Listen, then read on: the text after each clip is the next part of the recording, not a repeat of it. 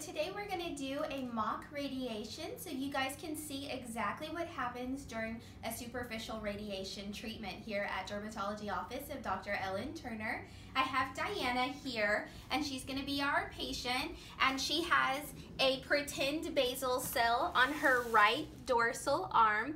Diana's a very young patient, so superficial radiation is a choice for her. It's non-invasive, non-surgical, and basically non-scarring.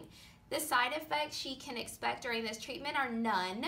Radiation is sightless, soundless, and odorless, so she won't feel or hear anything during the treatment except for some beeping that's coming from the device itself.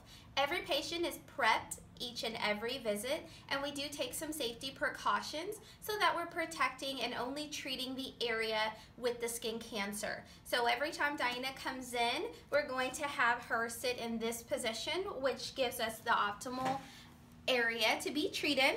I'm going to give her some lead lined glasses because her skin cancer is off face. She can wear these glasses to protect her eyes. Again, these are lead lined glasses. Go ahead and put these on for me, Diana. Those look amazing.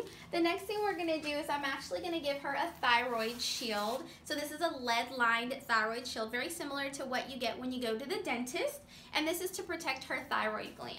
So we'll just place this on her and it looks nice. And then the last thing we're gonna give her is a lead-lined apron. So this is heavy. The lead-lined apron is to protect her internal organs. So we're gonna be protecting basically everything in her abdominal cavity and we just kind of drape it across her. Again, it's heavy, so just want to make sure that you don't hit him in the head with it. Okay. All right. So we've already marked her skin cancer, which was checked and verified by the physician. And I'm going to get the patient into position, and then the physician herself will go ahead and do the treatment. So I'll use just a little tape, and the tape is just really to hold my little lead-lined shield. Hers is two, two centimeters, so we've got a two centimeter shield here. 2.0 and we're just going to place it onto the skin itself with her appropriate margin and then I'm just going to tape it on. The tape is really just to kind of secure it to the skin and I'm using this tape that's not going to take her skin or her arm hair off.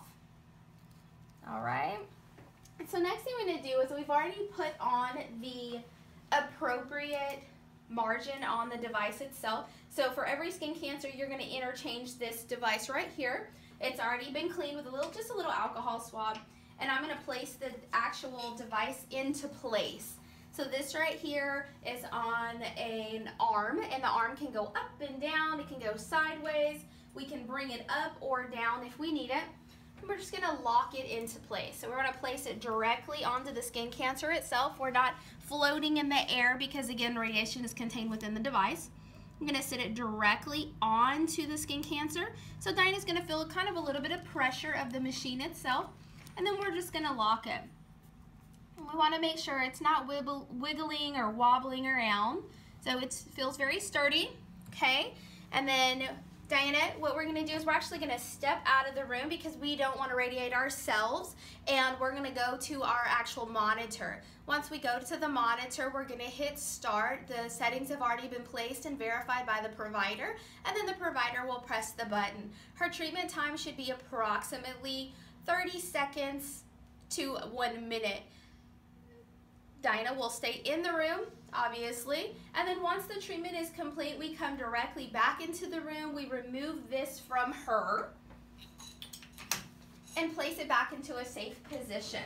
After Diana has completed her treatment series, so she can expect approximately 13 to 19 treatments on this skin cancer spaced two to three days apart then we can have resolution of approximately 98% of her skin cancer. Again, not leaving her with a huge linear scar and also able to save the surrounding tissues.